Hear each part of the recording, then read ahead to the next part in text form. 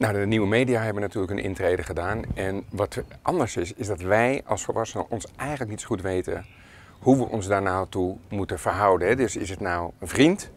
Hè, om de wereld opent zich en dat is toch wat je wil. Maar als de wereld zich opent, dat betekent ook dat alle shit in die wereld komt natuurlijk ook uh, tot ons. En we weten het eigenlijk uh, niet zo goed. Eigenlijk zou je kunnen zeggen, een beetje zoals seks was uh, bij onze ouders. Hè? Dus onze grootouders dachten, nou die hele seksuele moraal, dat kan niet goed blijven gaan. Het is het einde van de beschaving en uiteindelijk wordt het toch gewoon opgenomen in het bestaan. En dat, ik denk dat hetzelfde met de social media gaat gebeuren. Dat we zijn nu nog even in een kramp van hoe moeten we ons daartoe verhouden, omdat we het niet uit onze eigen jeugd kennen. Maar uh, dat uiteindelijk uh, zal het gewoon zijn plek vinden, zoals heel veel dingen hun plek hebben gevonden. Tot een aantal jaar geleden had je de wereld en er kwamen kinderen in en dan gingen de volwassenen een beetje uitleggen hoe die wereld in elkaar stak. En dan kwamen die kinderen daar wel tegen weer in verzet. It's all in the game.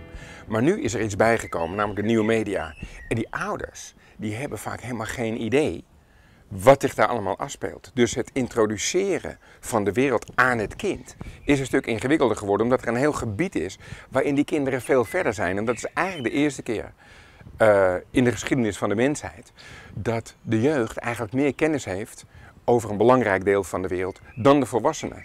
Dus die hiërarchische relatie tussen de wetende ouders en de onwetende kinderen. En wij vertellen het aan jou en dan mag je tegen in verzet komen, maar uiteindelijk weten wij het.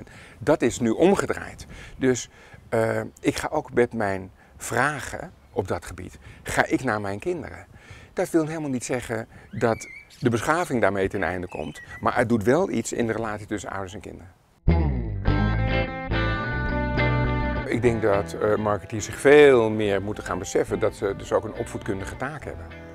En uh, dat het, als het alleen maar over verkopen gaat, dat je dan uh, wellicht de boot mist. Omdat we steeds meer naar een wereld toe gaan, of althans toe willen, waarin je ook je verantwoordelijkheid neemt. En dus niet alleen dat je iets wil verkopen, maar dat je ook zorg hebt voor datgene uh, wat je verkoopt. En dat zie je nu ook op allerlei gebieden. Van als je uh, spijkerbroek op is, breng hem terug naar de winkel, want we recyclen hem.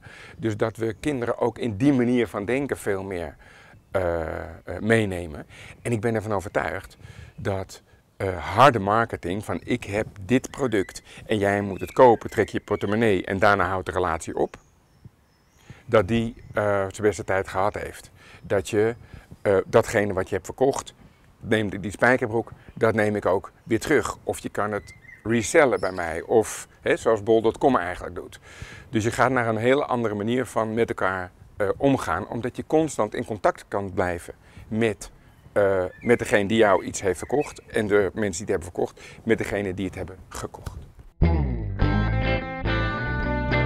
Wie ik daar zou willen zien is mensen die uh, niet alleen hard hebben voor hun product, maar ook hard hebben voor degene aan wie ze dat product uh, verkopen. En zich proberen te verplaatsen in de belevingswereld. En de belevingswereld van die, van die jeugd en jongeren ziet er heel anders uit dan toen wij jong waren. En hebben dus ook andere verwachtingen over hoe de toekomst eruit gaat zien.